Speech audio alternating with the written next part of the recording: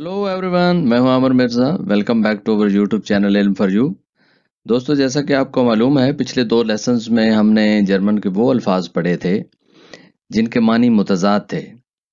तो आज के लेसन में हम वो अल्फाज पढ़ेंगे, जिनके दो दो मानी हैं। तो चलिए देखते हैं आज का लेसन सबसे पहले ये देखिए title German same words with different meanings कि जर्मन के वो अल्फाज जिनके मुख्तलिफ़ मानी हैं। Dutch, English, Urdu. इंग्लिश और उर्दू हमेशा की तरह हर लेसन में आपकी सहूलत के लिए ट्रांसलेशन की हुई है। तो ये सारे डच के अल्फाज हैं। तो सबसे पहला लफ्ज है हमारे पास दया, काम। दया, काम। और साथ देखिए, आपकी सहूलत के लिए आर्टिकल भी लगा दिया है। इसको भी साथ पढ़ा करें। जैसा कि पिछले चंद लेसन में ये सिलसिला भी शुरू किया है ताकि आपको आर्टिकल्स भी साथ याद हो जाएँ।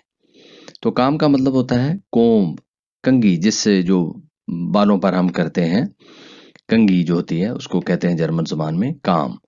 और दूसरा है कॉक्स कोम मुरख की कलगी जो होती है मुरख के सर पर जो कलगी होती है, उसको कॉक्स कोम कहते हैं, और जर्मन ज़ुबान में काम।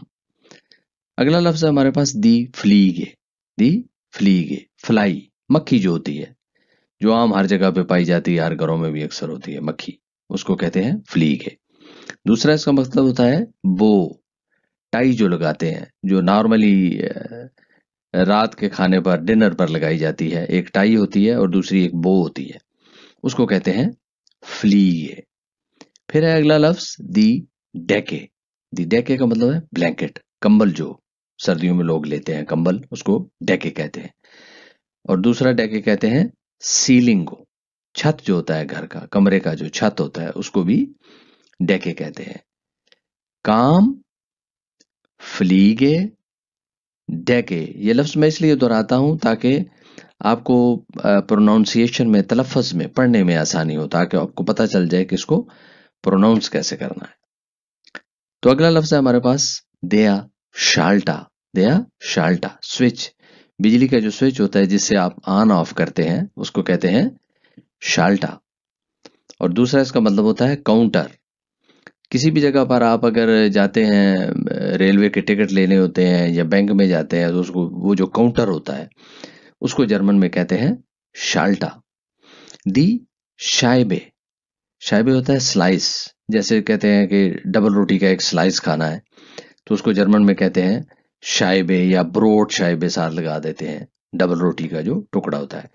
और दूसरा होता है शाइबे का मतलब है डिस्क जैसे जो ब्रेक की डिस्क होती है उसको भी कहते हैं शाइबे या सीडी जो गोल सी बनी होती है डिस्क, उसको भी शाइबे ही कहते हैं। फिर अगला लफ्ज, दस टोआ दस टोआ, जो खिलाड़ी खेलते हैं, फुटबॉल वगैरह, जो ग्राउंड होता है, जो मैदान होता है खेल का, उसमें जो गोल बना होता है, उसको कहते हैं टोआ। और दूसरा इसका मतलब होता है गेट, जो घरों पर लोगों ने बड़े बड़े दरवाजे लगाए होते हैं, गेट लगाए होते हैं। उसको टोआ कहते हैं। एक तो होता है डोर, दरवाज़ा ट्यूआ हमने पढ़ा हुआ है पिछले लेसन में। ट्यूआ ट्यूआ होता है घर का दरवाज़ा, डोर जो होता है। और एक जो बड़ा होता है, जो बड़े बड़े घरों में बड़ा दरवाज़ा लगाते हैं, गेट जिसको हम कहते हैं, गेट लगाते हैं, उसको ट्यूआ कहते हैं। टूआ। शाल्टा, शाइबे, टोआ। फिर है हमारे पास लफ्ज, दया, लॉयफा। दया, लॉयफा। रनर। दौड़ने वाला जो होता है रनर जो होता है, उसको कहते हैं लॉयफा। और इसके लिए दूसरा लफ्ज इस्तेमाल होता है पान। शतरंज का प्यादा जो होता है, जो खेल है शतरंज, चेस जो होती है, उसका जो प्यादा होता है आगे, शतरंज का, उसको भी कहते हैं लॉयफा। फिर है दी लिंजे।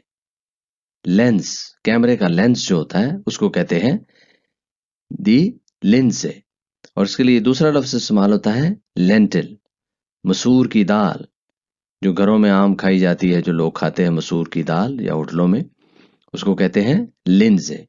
फिर अगला लफ्ज, दी श्लांगे।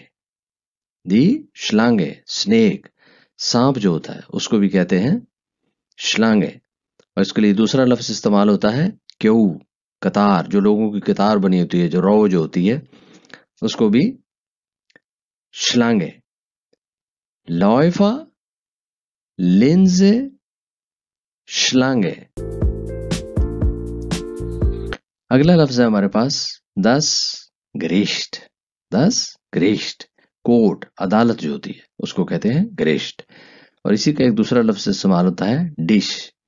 खाना, पकवान। अब ये डिश वो बर्तनों वाली डिश नहीं है यूटेंसिल्स जो होते हैं, बर्तन। वो वाली डिश नहीं। खाना, यानी कोई मुर्ग कढ़ाई है, कोफ्ते पके हुए हैं, कोरमा है, कोई भी बिरयानी है। जो डिश बनी होती है, उसको कहते हैं जर्मन में ग्रीष्ट फिर है दया बॉक्सा दया बॉक्सा बॉक्सर बॉक्सर जो खिलाड़ी होता है, जो बॉक्सिंग करता है, उसको कहते हैं बॉक्सा और दूसरा बॉक्सर क्या होता है, एक जर्मन में कुत्ता है, कुत्ते की एक नस्ल है जो बॉक्सर जो होता है, जिसका आगे से बड़ा समूह होता है, ये उबलीग डॉग इसीलिए लिखती है, आपको पता चल जाए वो है। बॉक्सर उसको कहते हैं। कुत्ते की एक नस्ल ही है। तो उसको कुत्ते को भी ये बॉक्सर ही कहते हैं। ये वो है ही बॉक्सर जो कि उसकी नस्ल है ये।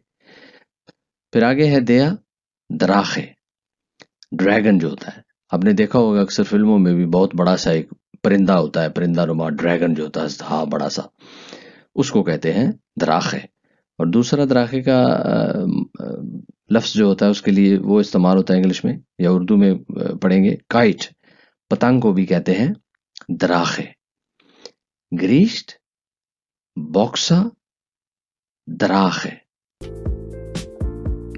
फिर आगे हमारे पास लफ्स बाट, दया, बाट बियड इंसान की दाढ़ी जो होती है, उसको कहते हैं बाट। और दूसरा इसका मतलब है बिट, जो चाबी का अगला हिस्सा होता है, जिस पर दांत से बने होते हैं, आपने देखा होगा, हर चाबी के आगे कोई दांत से बने होते हैं, उसको भी कहते हैं बाट। या जो टेक्नीशियंस के पास बोर मशीन वगैरह होती है और उनके पास बिट्स होते हैं काफ़ी सारे, उस बिट को भी कहते हैं बाट फिर है दया फ्लूगल दया फ्लूगल देखिए फिर यू उमलाउट के साथ। दया फ्लूगल विंग जो पार होते हैं किसी परिंदे के, जानवर के, उसको कहते हैं फ्लूगल और दूसरा इसका लफ्ज है पियानो आपने देखा होगा कि अगर पियानो है बड़ी सी तो उस पर आगे ऐसे एक लकड़ी का ऐसे पारसा बड़ा सा बना होता है, उसको खोलने और बंद करने के लिए। या एक ग्रैंड पियानो भी होती है। तो इसको इसलिए जर्मन में कहते हैं फ्लूगल, पियानो। द अपसार्ट्स द अपसार्ट्स होता है पैराग्राफ, जो बहुत सारे अल्फाज का एक सेंटेंसेस लिखे होते हैं। एक पैराग्राफ बन जाता है, उसको कहते हैं जर्मन ज़ुबान में। अपसार्ट्स या हम जर्मन ज़ुबान में दफात भी जो होती हैं, कानून में जो लगाते हैं, दफ़ा फलां दफ़ा फलां दफ़ा फलां, उसको भी अपसार्ट्स ही ये कहते हैं। और दूसरा इसका मतलब होता है हील, जो ऊँची एड़ी वाली जो जूती नहीं होती, जो जो एड़ी उसके नीचे ऊँची सी लगी होती है, हील जो होती है, उसको कहते हैं एड़ी जो होती है अपसार्ट्स बाट फ्लूगल अपसार्ट्स फिर हमारे पास लफ्ज आगे दया, पास। दया, पास। इसका मतलब है पासपोर्ट। जो हर आदमी के पास होता है। इसको जर्मन ज़ुबान में अगर पूरा लफ्ज बोले तो वो कहते हैं राइजे, पास। राइजे होता है ट्रेवल और पास, पासपोर्ट। यानी वो सफ़र करने वाला पासपोर्ट, ट्रैवल डॉक्यूमेंट जो होता है, राइजे, पास। तो नॉर्मल लफ्ज इस्तेमाल होता है पास, पासपोर्ट। और दूसरा पास होता है दर्रा। जैसे कि हमारा खैबर है, खैबर पास, दरा खैबर है, फिर इसी तरह और कई दरे हैं दर्रा आदम खेल, जो पहाड़ों के बीच में जो रास्ता जहाँ से गुजरता है दर्रा जो होता है, उसको भी कहते हैं पास। फिर है दी म्यूले दी म्यूले, मिल, चक्की जो होती है। जैसे वो कोई पानी वाली, पान चक्की होती है या हवा वाली, विंड चक्की होती है, विंड मिल होती है, उसको विंड म्यूले भी कहते हैं। उसको, उसके लिए लफ्ज इस्तेमाल होता है म्यूले और दूसरा लफ्ज इसका मानी है गेम। गेम ये है कि एक म्यूले यहाँ खेल है एक जो नौ मोरे होते हैं जिसमें तो उसके साथ वो खेलते हैं, उसके फिगर्स नौ इस्तेमाल होते हैं। एक एक खिलाड़ी नौ नौ लेता है तो उसको भी जर्मन ज़ुबान में म्यूले कहते हैं। ये गेम का नाम ही है। ये गेम ही है, ये एक खेल है एक। दी शीने। फिर अगला लफ्ज है हमारा, दी शीने।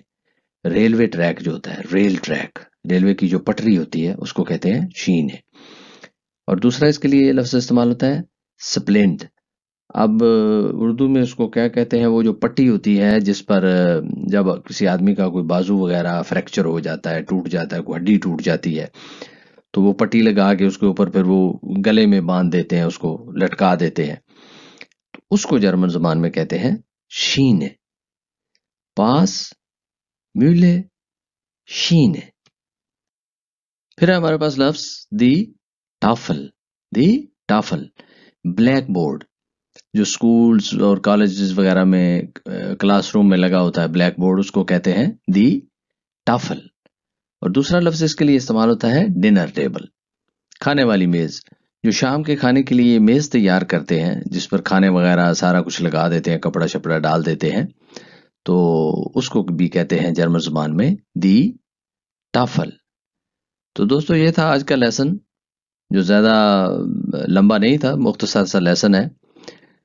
उम्मीद है इस वीडियो से आपने काफ़ी कुछ लर्न किया होगा। अगर आपको ये वीडियो पसंद आई है तो इसे लाइक कीजिए और अपने दोस्तों के साथ शेयर कीजिए और चैनल को सब्सक्राइब कीजिए, ताकि आपको आने वाली हर वीडियो का नोटिफिकेशन मिलता रहे। बिसुम नेक्स्ट माल। चूज़